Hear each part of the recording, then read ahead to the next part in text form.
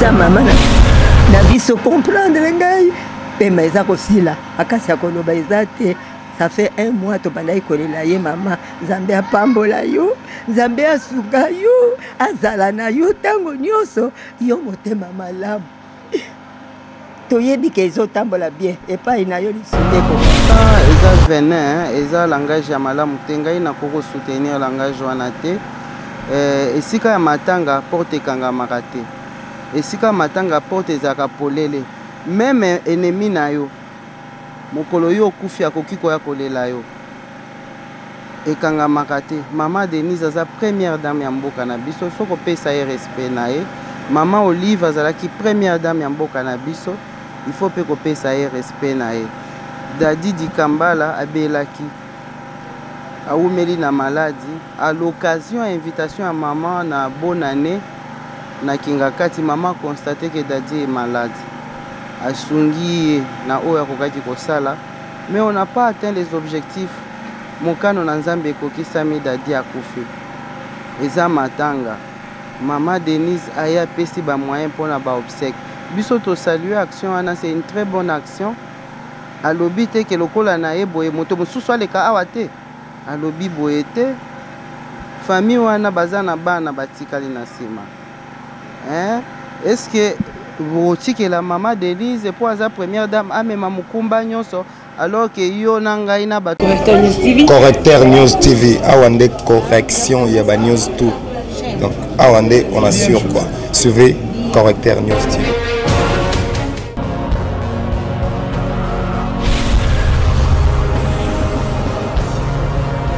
s'abonner massivement, massivement. Tu as vu Corrector News avec, avec, avec Yemoko Crachou, Crachou, Crachou,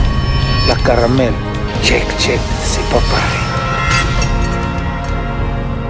mbote bandeko balandi balobi rachou la caramel a toujours pour vous mpona kopesa bino baactualité ya mboka lelo toye lisusu awa na upen wapi epai toye kotala bongo papa andre lufa oyo azalaki bongo artiste monene ya mboka asalaki bongo bikeko ebele oyo toyebi balobi mpo na référence ya lemba tomonaka bongo euh, ekeko ya fikine ye nde moto askila yango mpe azalaka grand formateur aforma meme papa liyolo nzoka nde na boye nde lokola akufaki 30 jours déjà famille eza kaka na se bazali koluka lisungi mpe bazwi lisungi te mais lelo à notre grande surprise maman olive lembe atindi bongo délégation ya bamembre ya baye baye ya ye baya kosenquerir na problème mpe situation baya kotala à quelle mesure bakoki kosunga famille wana mpo que corps ya papa na biso andre lufwa ekundama bongo parce que ewumeli na morgue na bende tokomi sur place lilile maweja merci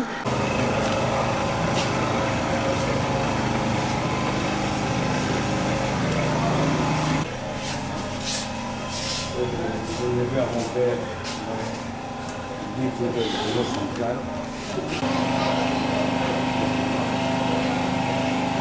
basungi basunga biso papa akufi mikolo eleki ebele sanza mobimba tozo kolinga basunga biso tokunda ye mpo biso mpe totikala libre boye tozomona lokola ebembe ezotambola na biso kaka nzela nyonso tozokende comprendre biso za baafricain soko moto akufi Ebongaka bosala matanga soko esili bokundi mutu na mabele bongo botelemi. Kasi lokola sikoyo nga naza semeki na ye direct leki ya mwasi na ye. Tata azalaki lokola papa na biso tozolinga lisungi pour ete papa akende na azonga na mabele ndenge tozongaka. awa mpona koyeba ndenge nini mambo ezokende ça veut dire que lisolo ezokende bien bokunda papa kalami te eloni oki koloba na mama olive mpona geste oyo azolinga asala mama oza mama na, na biso comprendre ngai pema eza kosila makasi ya koloba eza te ça fait un mois tobandaki kolela ye mama nzambe apambola yo nzambe asunga yo azala na yo ntango nyonso yo motema malamu toyebi ke ezotambola bien epai na yo lisungi ekomonana merci mama merci mingi mama bibi eh, présence na biso awa ezali consécutive na mokanda oyo mwana ya papa luvua mwana na ye ya liboso oyo atikala mpe moko parce qu'il a eu j'ai appris ici abota bana misato moko nde atikala papa bernard Akomelaki biso mokanda na Initiative Plus. Na mokanda wana azalaki koinforme biso liwa papa na ye mpe mpasi oyo baza nango depuis euh, plus de 30 jours. Lelo nayoki ke eza deja 40e jour azali na morgue, akufaki moyen kokunda ye eza te, alors bazalaki koluka lisungi. eh, po ba organiser ba obsèques na ye bakunda ye alala esika ya malamu mokanda wana tozwaki yango semaine passée ezalaki ba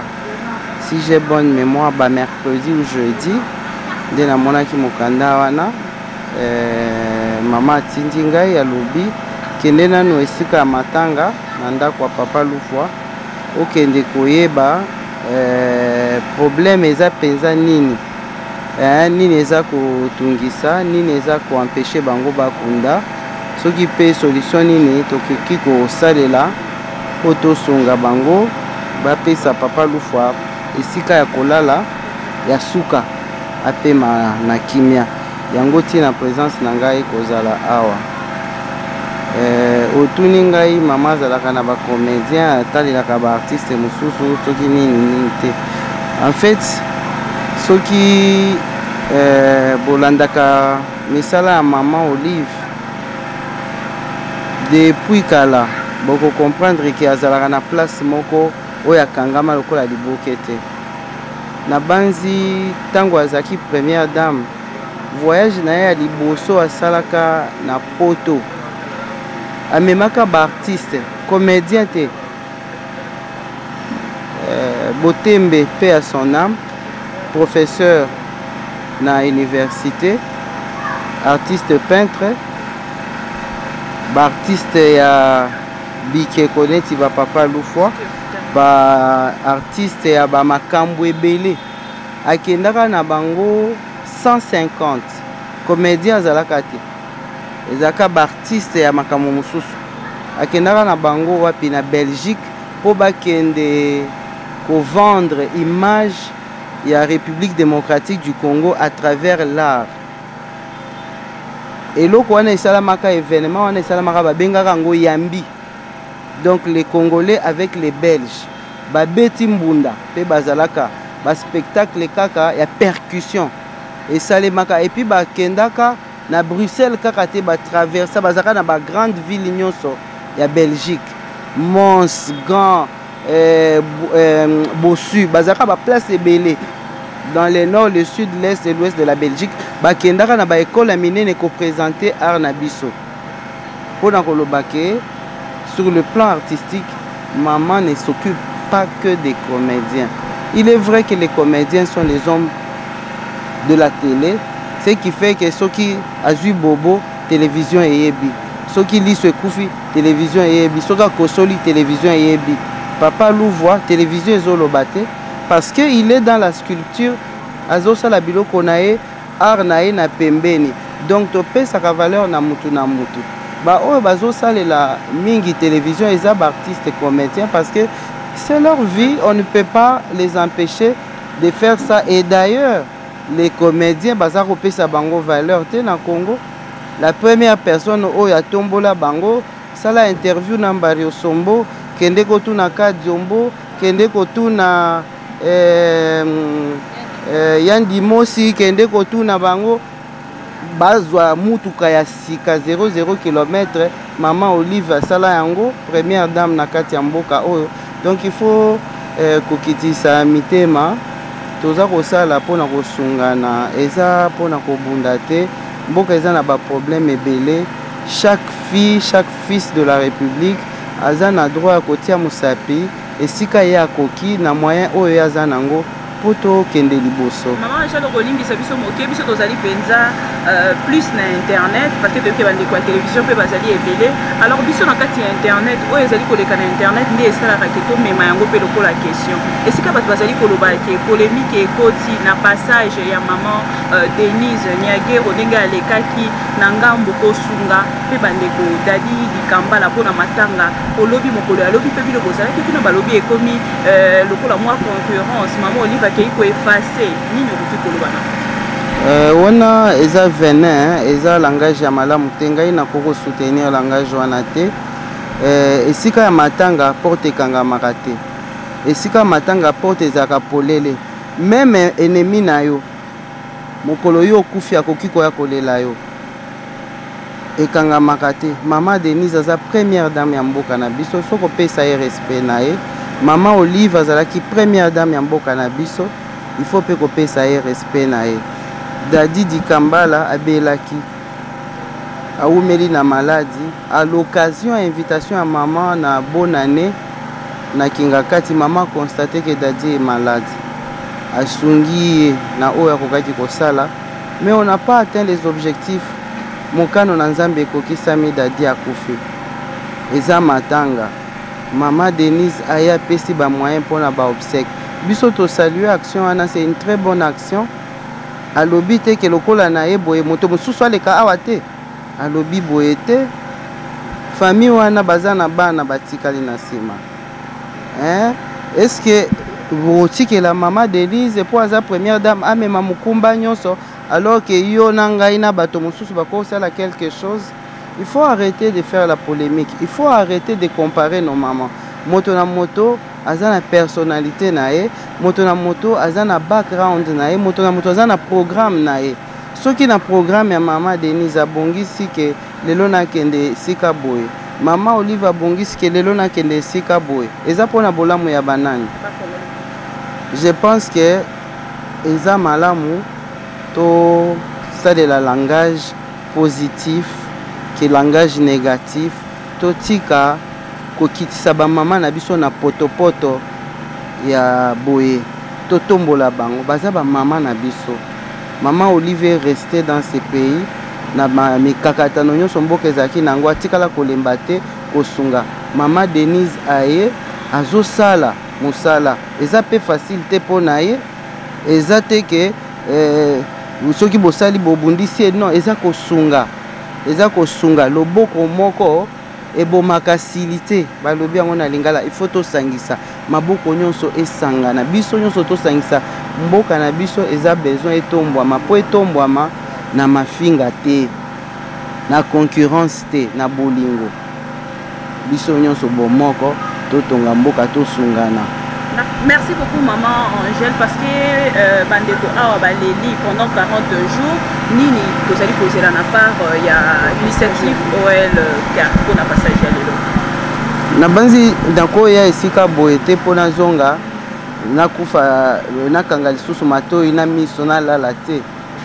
koya eza koya mpo na kosenquerir na situation kozonga ekozala mpo na kozonga kotala ndenge nini tokoki kosunga bango balamuka na mabele mpo bavandi kaka baza kaka na se balamuki nano te bakundi nano te ifo tosunga bango balamuka totia nani papa na biso asalela biso bamonima ebele na congo natikala koyeba te mwana na ye ainforme nga ke ye moto aforma eh, liolo mpe asonama aza lisusu na biso te Bato mingi bayebi Lio Lombe, bayebi Papa Lufwa te. Donc, euh, aza mutu munene quand même na mboka na biso et moi je pense que je peux même profiter que eza likambo na biso initiative plus te mpo bakomeli biso parce que bakomelaki déjà bakonzi mosusu mikanda avant je pense que c'est une opportunité tosensibiliser bango nyonso bakoka kosunga libota oyo bazala na kimia toza na mawa toza vraiment na mawa ya kobungisa bongo papa na biso balobi papa artiste monene papa euh, andré lufwa oyo azalaki bongo artiste monene asalaki bongo meme ekika lubumba oyo ezali bongo inspiration na ye epuis euh, identité ya lemba to mpo reconnaître lemba eza komona bongo euh, ekeko ya, ya fikine oyo lelo bana ata bazwi congé bazalaka na esengo kokende mbango na fikine mpo na kofiete alors euh, tozali bongo awa na résidence familiale na ye wapi epai toyei kosolola bongo na mwana na ye ya liboso son fils aîné mpo totuna ye masolo ya matanga ye kosalama ndenge toyebi biso nyonso tu depuis akufi lelo esa ja un mois aza kaka euh, na morgue nanu bazwi solution moko te gouvernement akosala eloko te na boye nde tokiti tosolola na ye ayebisa biso qu'est-ce qu'il y a au juste ti lelo nanu bakonzi ebembe ya papa na biso te mbote papa Hmm, mbote mama merci mingi na motuna na ndenge boye kotala biso mpo ya liboso papa excuse ya liboso tokolinga mpenza opesa nano bato bakolanda biso nkombo na yo epuis euh, oconfirme bango vraiment ke ozali mwana ya papa euh, lufwa ya liboso eh, nkombo na ngai monsieur bernard lufwa nazali enfant biologique ya papa lufwa auti otika biso euh, bon nazalaki mwana na ye ya liboso natikala mpe nga moko tobotamaki trois garçon mibale nzambe abenga bango natikala na ye nga moko epuis nga mpe nalandi loboko na ye c'est-à-dire ainitie euh, nga lisusu na art tosalaka na ye omoni lokola euh, batteur ya tamtam ya moke nasali wana mpo na projet moko ya monene toza nango oui papa euh, ah papa oui papa merci beaucoup na, na euh, eyano na yo oyanoli biso tolingi toyeba vraiment explike biso sovo olobi oyo ya moke oyo yo nde motu osali yango bandeko balandi bakomona yo nde moto osali yango oyo ya monene ye moko nde moto asalaki alors toyei toyeba mosala ya papa abandaki yango ndenge nini aprenaki yango wapi mpo lelo aza grand formateur oyo aforme bato ebele entre autres papa yolo epuis aforme yo moko mpe mwana na ye ya liboso mais toyei toyeba vraiment mosala ya papa abandaki yango ndenge nini epuis euh, abandaki yango wapi en tout cas asali betide nde nyonso na congo ya art na 1943 nde abandaki eh, ecole d'art na province ya congo central eh, na secteur ya gombe matadi epai ya baekole eh, ya bafrères ecole chrétienne hmm, bafrères ecole chrétienne wana ezalaki ekole na bango sango moko ya mondele nkomona ezalaki monsieur euh, euh, pardon frère euh, marc walenda ye moto ayaki na section ya art awa na congo après 3 ans bamoni ke ekoki kozala kuna te mpo eh, ezali quand même métier moko noble batransfere ekole wana na kinshasa ntango wana ezalaki ekole saint luc mais lelo ekomi académie de beaux arts bon kuna aye kosilisa na 1951 eh, asali baexamen parce que awa azalaki ye moko atikaki le seul candidat oyo babandaki na ye mingi basalaki ba, ba, ba, ba, ba cycle moyen mpo hmm, ezalaki 4 ans na 7 ans Bon, ye a continuaki ti na 7e année. Et après osala année moko ya ya maîtrise. Alors asalaki yango ndenge moko na euh, correspondante ya école na bango ezalaki na, na, na Liège, Saint-Luc de Liège. Vraiment azalaki obligé akozwa diplôme ye moko te fo asala même euh, preuve na euh, baninga na ye oyo ya liège ya promotion wana mhm. alors abimaki premier na théorie na pratique yango nazwaki diplôme na ye ya 8e année ya sculpture euh, délivré à liège na 1951 ya grand prix distinction na ezalaki grand prix dès lors azongi na académie des beaux arts abandi otangisa awa banda 1952 ti na 1963 ye aforme baartiste minene tel que ba baliyolo eh, bon euh, ebele ebele baza bana classe na ye en tout cas azalaki dévoue mpo na mboka euh, babengi na mikili mosusu tel que na égypte na maroc surtout azalaki na affinité makasi na fait président senghor ye insistaki baki nofongola académie de beaux arts na sénégal mais papa aboyaki azalaki devoir alobi ngai nakotangisa kaka na mboka na ngai donc euh, aza quand même euh, motu moko euh, distingue mpo na mboka asali mingi mpo na mboka en tout cas euh, tomoni bongo bilembo déjà ya fikine oyo ezalaka mpe na fikine yango na maboko na biso toyei toyeba parmi baoeuvre papa asala eloko nini suzi asala apart ekeko oyo bon en tout cas asali mwa mingi eh, na bagrand monument asali na aux affaires étrangères asala kutu ekeko moko ya monene eleki kutu ya foire na molai ah eh, eh, na, na kuna eza mibale na ambassadeur en mission eh, na accoutrement ya biso bakongole alati lingwanda na nzete na ye na mwa eh, sak na ye tobengaka moloka ya azokende eh, na mission na ye à l'étranger ezali wana bon à part ça na guadolite bon même na na entrée ya, ya, ya, ya, ya mongaliema entrée présidentielle tosalaki baléopard kuna ezalaki ebele bon révolution eye babuka yango esperons que tobandela yango ata ngai mpo ngai mpe nasalaki yango bon asala susu archer motu moko aza na flèche azobeta boye pour dire que attention biso tozali tozoveille tozomona wana eza na mongaliema mosusu toyei koreprendre yango eza na, na boulevard chachi epai batie babikeko ebele ebele ya bronze wana Hmm, bon, mususu so ya mwa munene kaka na boulevard Chachi eza ba 2 mètres 50 euh, danseur mukongo oyo oh, azwilaki diplôme mpo evre wana azwilaki diplôme ekendaki belgique ezonga su te toyebi te soki eh, ekende wapi soki boni na ntango wana koloba nini bon omoni ye azwi diplome na ya baekole saint luc donc ekole yango ezali correspondante oyo ya awa baefe babiloko oyo basalaka lere oza na étude ezalaka propriété ya ekole ah bon en tout cas moyen ya kolanda yango mingi eza te eza propriété ya ekole bon en tout cas avec euh, autorisation na ye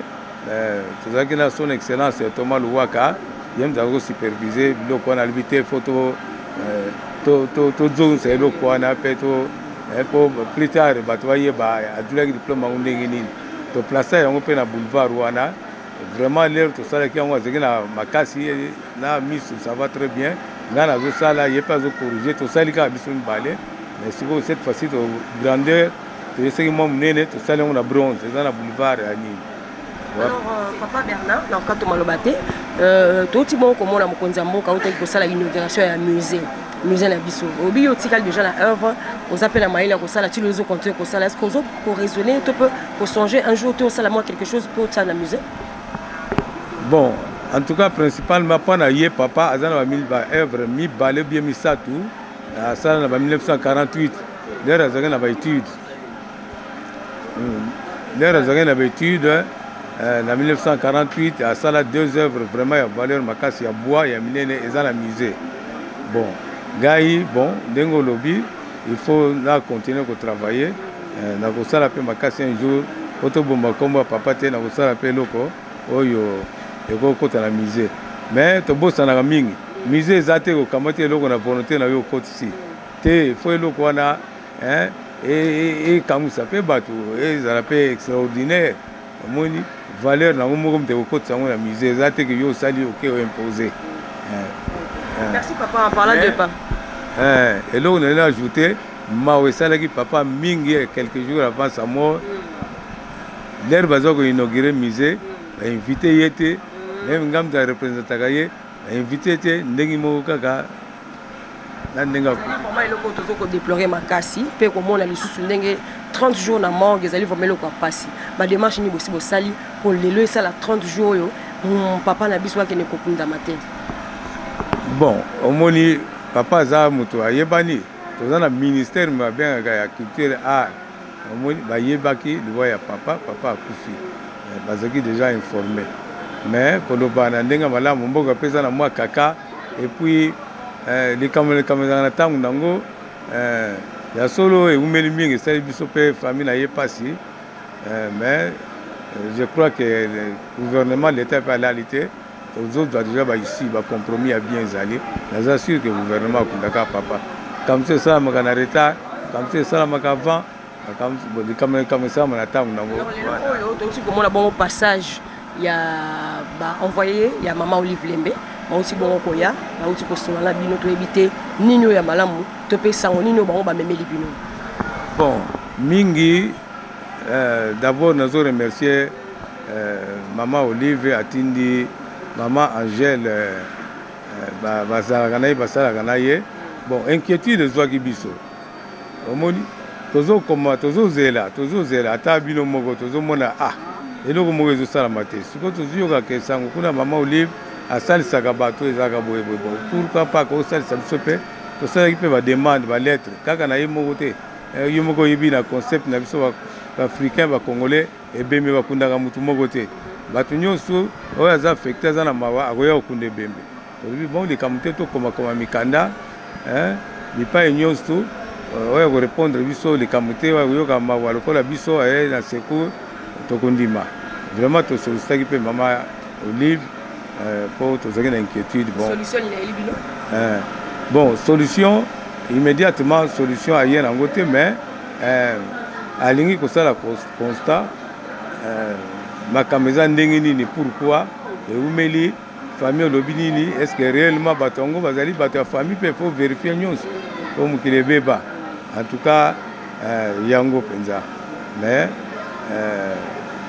à promettre naza sûr que kosalama alobi bon euh, bake pesa ye rapport ndenge akozwa rapport wana toyebisi ye mpe ndenge nini euh, totikali awa Eh, solution akopesa totala ndenge na yo toloba ebembe bakundaka yango moto moko te eh, moto nyonso akoki kosalisa oyo tokomaki to oyo aza na bonne volonté aye tokundi papa na biso parce que eh, soki bakongole nyonso to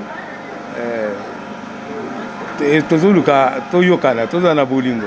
je crois ke keko oyo eza point d'intersection ya biso bakongole nyonso kongole moko te aboyaka yango kongole nyonso asepelaka na yango elakisaka nini bon omoni ntango esalamaki ezali eh, eh, normalement foire ezali lokola zando ya monene ye azobenga bato nyonso baza na mikili nyonso baya kokomercialize na biso bakongole omoni mais asali yango na costume na biso accoutrement na biso Eli Ngwanda ndenge bakoko na biso wana inspiration ya artiste ye moko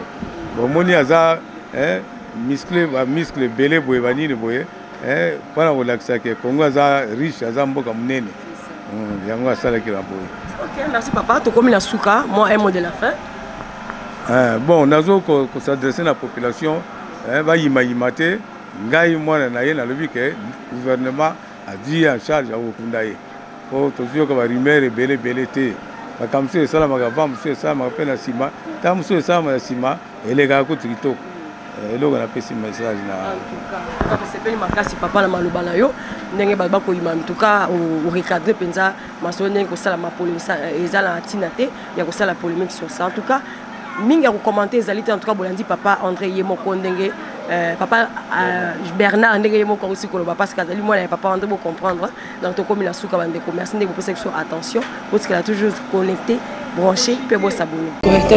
correcteur news tv awa nde correction ya banews tout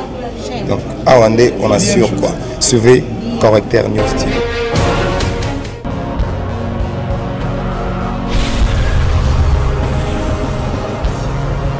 s'abonner massivement massivement tonabi correcteur news avec news avec news avec Yemoko rachou rachou rachou la caramel check check c'est pas pareil